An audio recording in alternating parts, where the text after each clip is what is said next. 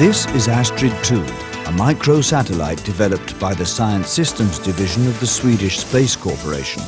Its scientific missions are to explore electric and magnetic fields in the upper ionosphere and to measure neutral and charged particles and electron density.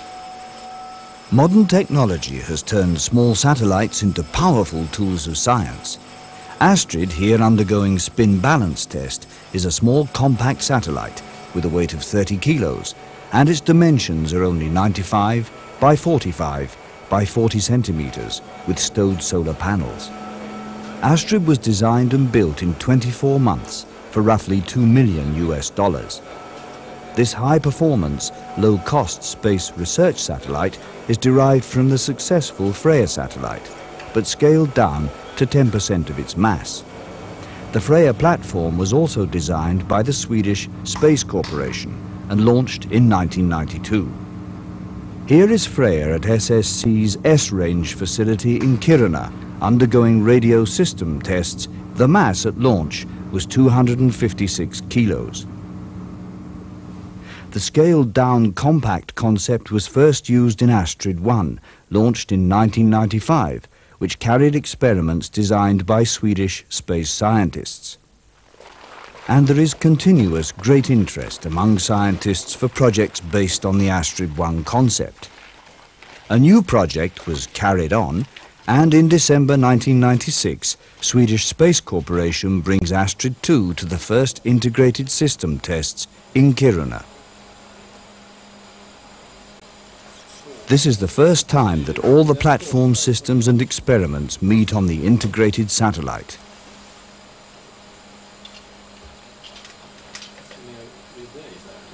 The test to be performed is the thermal balance test or the solar simulation test, where the satellite will be submitted to a similar environment to space.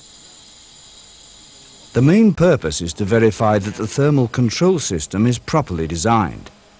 For this reason, a number of thermocouples, which help measure the temperatures, are installed on the satellite. Here we see one of the experiments, a completely new instrument in space, a combined ion and electron spectrometer. On the outside there are two photometers mounted for measurement of ultraviolet light from the aurora. The bottom platform is covered with a multi-layer insulation blanket and the side faces with black single sheet foil in order to control the temperature of the satellite. The solar panels are replaced by dummies and equipped with foil heaters for temperature simulation. The satellite is positioned with its bottom facing the sun, just as in space. Astrid 2 is a sun-pointing spinning satellite and always projects its bottom faced to the sun. It's positioned in the same way in the chamber, where the sun is simulated with strong lamps.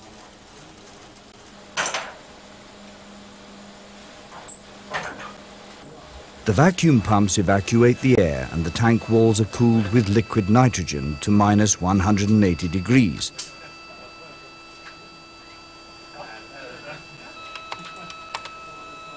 And the temperatures are logged for later evaluation. Ja, Micke. Okej, är ni klara? Ja, vi spanar. Då kör vi 200 varv. Astrid 2 has a specially designed mechanism for deploying the wire booms of the electric field experiment. It has wire guiding mechanisms fastened on a drive belt, which moves around the complete satellite body, driven by a stepper motor. The belt drive and all the moving parts are carefully tested. Såg det bra ut? Ja, det ser okej ut. Okej, är ni beredda? Okej, Kör kör. jag. 3, 2, 1, 0.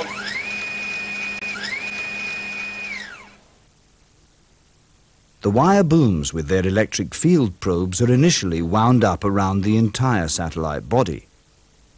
The probes are released by pyro guillotines, by ground command, and slowly reeled out by the belt drive mechanism to their full length of 3.1 meters each. Data from the satellite is sent down at a rate of 128 kilobits per second to the Astrid 2 S-band control and data reception station located at the Swedish Space Corporation headquarters at Solna. This small and low-cost unit is also developed by the Swedish Space Corporation. A similar station for data reception only will be placed in the Antarctic. All RF units on the satellite and in the ground station have been tested at Swedish Space Corporation, from unit level up to integrated end-to-end -end tests. Here the output spectrum of the uplink transmitter is checked. Astrid 2 is a sun-pointing spinner and projects six solar cell panels to the sun, of which four are deployed. The panels give a maximum of 75 watts in total.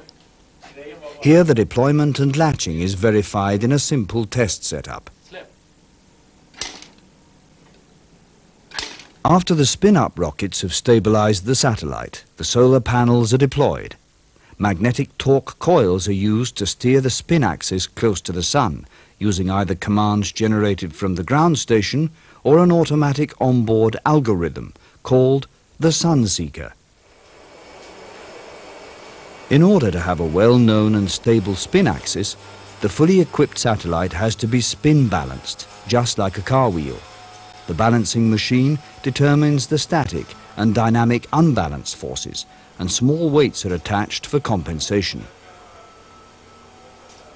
Astrid 2 will be launched from Plesetsk in Russia as a piggyback on a Russian satellite at an 83 degree inclination circular orbit at 1000 kilometers altitude. Okej, då kör vi eh, låg eh, vibration i, i 6,5 G, bara 10 sekunder.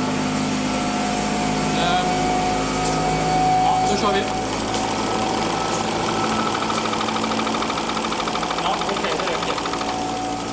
This vibration test simulates the static acceleration forces of the launch vehicle, the Cosmos rocket. The satellite, with all its sensitive equipment, is also tested in a random vibration.